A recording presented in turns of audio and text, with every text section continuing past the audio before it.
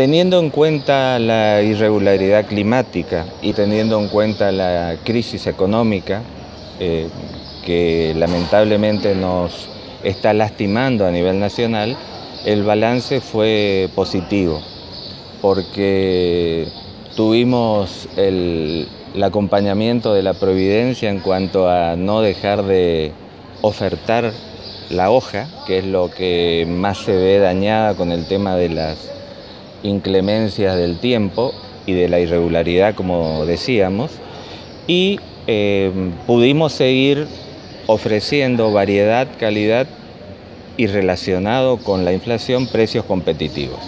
En el último trimestre, que, fue un periodo difícil, por lo que decíamos calor y economía, tuvimos un 7% de aumentos en las ventas del sector frutihortícola, un 5% en el, de aumento también en la parte de cárnicos, lácteos y derivados, un 3% en el sector de preelaborados y panificados y un 2% en el sector que está a nuestras espaldas, que es el sector varios. Em, si hacemos un balance anual, podemos hablar, sin contar diciembre, que es uno de los meses de mayor venta, de mayor pico de ventas. En el sector cárnicos, para que ustedes tengan una idea, tuvimos una recaudación de alrededor de 30 millones de pesos. ¿Sí? En el sector frutihortícola, más de 9 millones de pesos. En el sector de preelaborados, alrededor de 2 millones de pesos.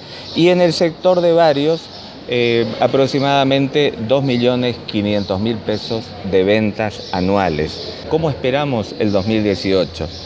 Em, con ansiedad, con esperanza, con expectativas, pero también con mucha preocupación, por los mismos dos ítems que mencionábamos al principio. La evolución de la economía, para ver cómo nos sigue afectando a nuestros bolsillos, y ojalá no se cumplan los pronósticos del clima.